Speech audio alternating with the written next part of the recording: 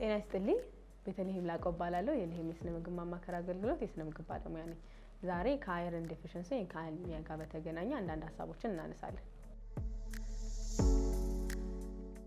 ብዙ ጊዜ ይሄ ችግር ሴቶች ላይ ይስተዋላል። ነገር ግን ሌሎች የጤና እክል ያለባቸው ለምሳሌ የ colon ካንሰር፣ የአንጀት ቁስለት፣ የ ulcer ችግር የመሳሰሉት እንዲሁም H. pylori ን ጨምሮ ያሉ የጤና እክሎች ያሉባቸው ሰዎች ባልተጠበቀ ሁኔታ የ anemia ወይም ደግሞ የደም ማነስ ችግሮችን ሊከሰትባቸው ይችላል። ስለዚህ ብዙ ሰው iron deficiency ስላለብኝ በቃ supplement ኦችን ወስዳለሁ ወይ መድኃኒቶችን ወስዳለሁ ብሎ ነው ለማስተካከል የሚሞክረው። ነገር ግን አሁን የጠቀስኳቸው ችግሮችን መጀመሪያ ሰውነታችን ውስጥ መኖር አለመኖሩን ማጣራት አለብን። በተለይ ደግሞ የትንሹ አንጀት የጤና ሁኔታ በደንብ መረጋገጥ አለበት። ምክንያቱም በዚህ በዚህ በትንሹ አንጀት ተጠቅሞ ነው ሰውነታችን አብዞርብ አድርጎ ተጠቅሞት ወደ ሰውነታችን በሙሉ እንዲተላለፍ የሚያደርገው። ስለዚህ መጀመሪያ እነዚህ ችግሮች ሰውነታችን ውስጥ መኖር አለመኖሩን ማረጋገጥ ይኖርባቸዋል። በተለይ ችግሩ አለባችሁ ተብሎ የአይረን ችግር አለባችሁ፣ ነገር ግን እንደተጠበቀው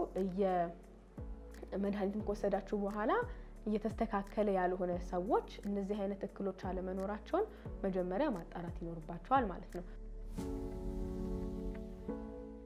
ከዛ ውጭ ምን አይነት ምግቦችን ብንጠቀም ነው ሰውነታችን በዚህ ንጥረ ነገር የበለጸገ የሚሆነው የሚለውን እናያለን። በመጀመሪያ ደረጃ አይረን ይዘታቸው በጣም ከፍተኛ የሆኑ ምግቦች ስጋና ሲፉድስ ወይም ደግሞ ከባህር ውስጥ የሚገኙ ልክ እንደ አሳ፣ ስልፍሽ ምናምን ያሉ አይነት ምግቦች ናቸው። ግን ለእኛ ሀገር የሚሰራው እንግዲህ ቀይ ስጋ ነው። ከዛ ውጭ ግን እንጀራም የተወሰነ amount iron አለው።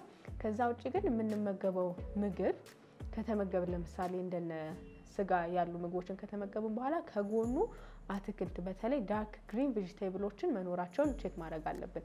ከዛ ውጭ ሁል ጊዜ የምንሳሳተው በተለይ iron deficiency ያለበት ሰው ቡናና የሻይ የአወሳሰድ ሂደቱ በጣም ከፍተኛ ይሆናል።